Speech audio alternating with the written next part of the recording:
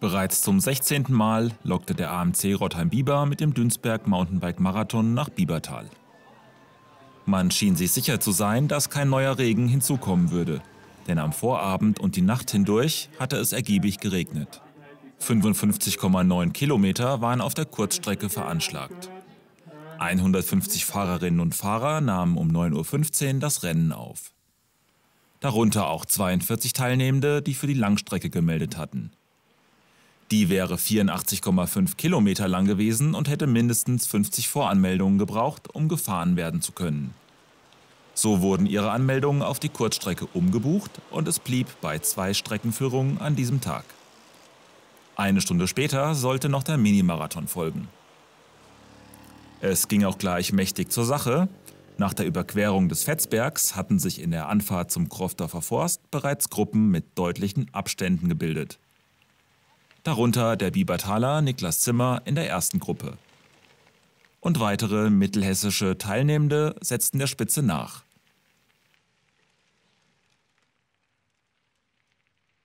Die weiter hinten Fahrenden hatten vielleicht auch ein Auge für die optischen Reize, die der Mountainbike-Marathon in Mittelhessen zu bieten hat.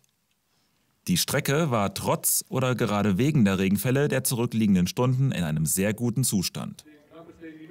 Unterdessen begannen an der Biebertaler Großsporthalle die letzten Vorbereitungen für den Start des Minimarathon, den auch Nicole Wittig und Matthias Steinberger aus der Redaktion von Radsportnachrichten.com für ihr Live-Erlebnis unter die Räder nahmen. Neben top aktuellem Material sollte auch ein historischer Schatz über die mittelhessischen Trails gejagt werden. Die Laufschuhe gegen Radschuhe tauschte Silvio Welkner, der als ehemaliger Radrennfahrer damit ein kleines Comeback feierte.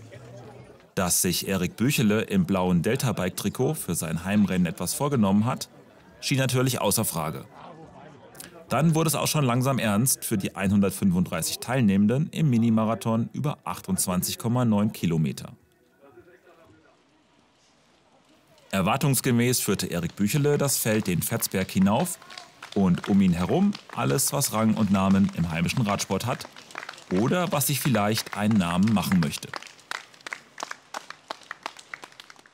Auch hier gab es nicht nur was für die Beine, sondern auch fürs Auge. Silvio Welkner, Radkurs-Experte Thomas Hockauf, sie alle mussten über diesen ersten von etlichen Anstiegen. Unser Mountainbike-Ressortleiter machte ebenso eine gute Figur wie sein Material. Und die Biebertaler Bevölkerung trug ihren Teil im Anstieg bei. Am Dünsberg nach rund zwei Dritteln des Minimarathon zeichnete sich schon eine Vorentscheidung ab. Maximilian Löhr setzte hier gerade eine Attacke. Erik Büchele und zwei Mitstreiter mussten in dieser Situation hellwach sein. Aber auch Daniel Schulz-Thomé und Marian Kopfer waren gut unterwegs und hielten die Spitze im Blick. Eine kurze Mitfahrt bei Christian Schmidt von der RSG Gießen und Wieseck gefolgt von Lukas Arzt von der RSG Buchenau. Vanessa Schmidt war unterwegs zum Sieg in der Frauenwertung. Immer wieder gab es Beifall für die Leistungen und Duelle. Und für unseren Redakteur Tobias Zappe jede Menge zu fotografieren. Es sollte auch noch eine Weile dauern, bis alle diese markante Stelle passiert hatten.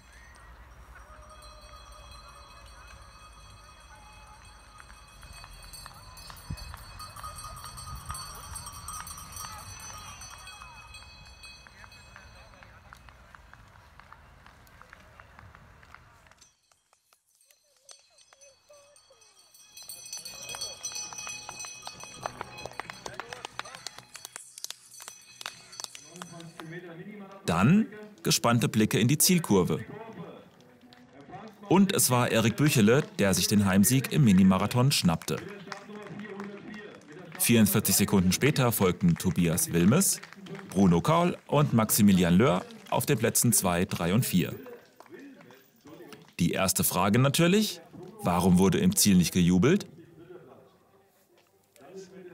Boah, war ein bisschen K.O. am Ende, aber ja, habe mich trotzdem gefreut bin froh, dass ich diesmal gewonnen habe, im Gegensatz zu den letzten zwei, drei Mal, wo ich immer Zweiter, Dritter war. Ja, bin sehr zufrieden. Hier bei dem Anstieg hier hoch habe ich kurz die Führung übernommen. Bin dann auch die meiste Zeit erstmal vorgefahren, aber so nach ein paar Kilometern dann sich mal ein bisschen gewechselt. Und am Dünstech-Parkplatz, da ähm, bin ich ja vorne weggefahren, konnte bis zum Ziel durchziehen. Das hat sich eigentlich ein bisschen nach und nach sind sie abgefallen, die Leute, aber das war trotzdem am Ende relativ knapp noch. So viel Forschung war es dann auch nicht. Ja. Maximilian Löhr war mit Platz 4 nicht unzufrieden. Ja, war eigentlich ganz super. Äh, ich war die ganze Zeit vorne mit dabei. Am Schluss hier das Wiesenstück. Ähm, war ein bisschen ärgerlich, da hatte ich ein paar Krämpfe, konnte ich nicht mehr so ganz reindrehen, aber ansonsten war es schon mega gut. Ja. Ähm, ich fand es eigentlich ganz gut. Ich hatte morgen gedacht, es wird noch rutschiger, aber es ging eigentlich voll in Ordnung. Dann ein interessantes Bild im Ziel der Kurzstrecke. Niklas Zimmer kommt als Zweiter hinter seinem Teamkollegen Sascha Starker an, der als Sieger das Rennen an der Spitze nochmals schildert. Gut, der Start, der eigentlich neutralisiert war, war verdammt schnell gewesen. Da ging schon direkt die erste Lücke auf und am Dünstberg konnte man dann auch die Lücke wieder zufahren. Und äh, der Aaron ist dann halt viel von vorne gefahren, war verdammt schnell. Wir waren äh, zwischenzeitlich fünf Leute gewesen. Und nach und nach ja, haben wir vorne nochmal ein bisschen Gas gegeben. Dann waren wir zu dritt gewesen, der Aaron, der Niklas und ich. Und das hat sich so eigentlich bis zu dem ersten, bis zur ersten richtigen äh, technischen Abfahrt ja, so, ich sag mal, ergeben gehabt. Äh, der Aaron hat dann äh, runter zu ein bisschen Schwierigkeiten gehabt, bin dann vorbeigefahren, musste eine kleine Lücke zum Niklas noch zufahren. Und dann haben wir quasi das äh, Rennen ausgefahren bis zum letzten Anstieg. Da hatte ich auch ein bisschen bessere Beine gehabt und konnte es auch so dieses Jahr wieder für mich entscheiden. Ein Bonus für den Biebertaler Teamkollegen bei seinem Heimrennen stand aber nicht zur Debatte. Denn das Radrennen ist wieder ausgefahren.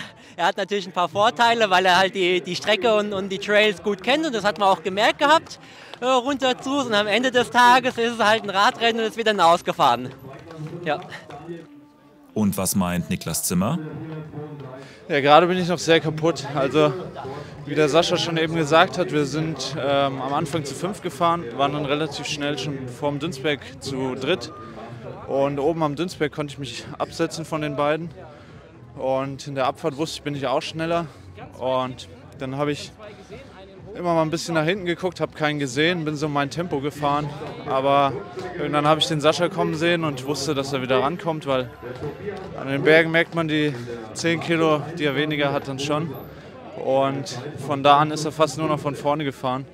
Hat mich an den Bergen immer sehr leiden lassen und jetzt am letzten Wiesenberg konnte ich dann leider nicht mehr mitgehen.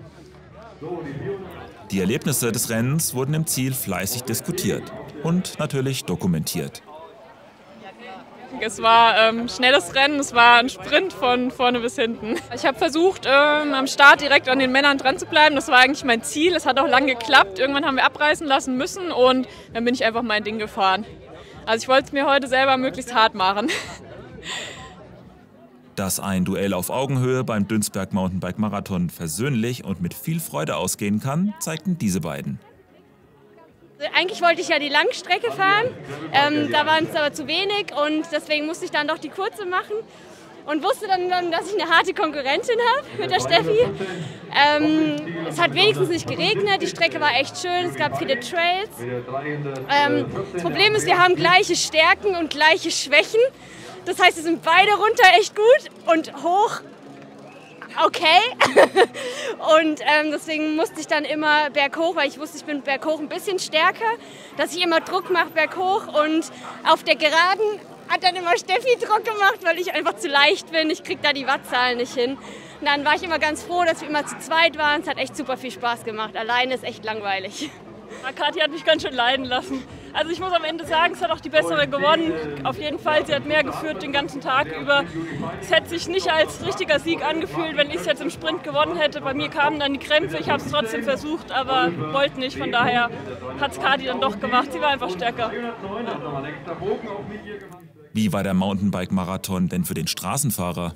Äh, ja, ich bin zufrieden. Also die Form ist nicht mehr ganz so da, aber ich bin gut durchgekommen. Äh, es waren ganz gute Bedingungen.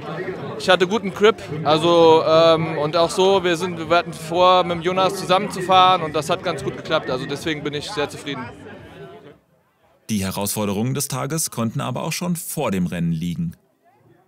Also mir ist der Start halt sehr schwer gefallen, wie immer, weil ich mich auch gar nicht warm gefahren habe. Wir waren mal wieder super spät, weil mein Sohn, der eigentlich auch mitfahren wollte, hatte heute Morgen sein Hinterrad kaputt und wir haben das noch versucht zu reparieren. Hat halt gedauert, und, aber nicht geklappt. Und dann waren wir so wieder letzte Minute hier und nicht warm gefahren und ja, aber ja, hier kann man sich ja dann mal fahren. Also und äh, dadurch war ich relativ alleine eigentlich die ganze Zeit. Ich habe dann mal jemanden eingeholt und dann kamen jetzt zum Schluss, glaube ich, die schnellsten von der 50 oder von der langen Runde, die mich überholt haben. Ja, so. Also gute Vorbereitung für nächste Woche, mein, meine WM in Italien und ja, fühle mich gut auf dem Rad und hoffe, das bleibt jetzt noch die Woche so. Wie erging es Matthias Steinberger und seinem Material? Ja, ich habe mir für das heutige Rennen mal meine alte Kiste äh, aus dem Wohnzimmer geholt, Baujahr 1998. Habe es damit mal versucht und ja, bin sehr zufrieden. Natürlich funktioniert das alte Material genauso wie das neue. Habe mir zwar am Dünsberg Trail bei zwei Sprüngen dann direkt mal das Innenlager geschossen, weswegen die Kurbel jetzt auch stark am Wackeln war und immer am Umwerfer schliff. Aber ja, hat Spaß gemacht.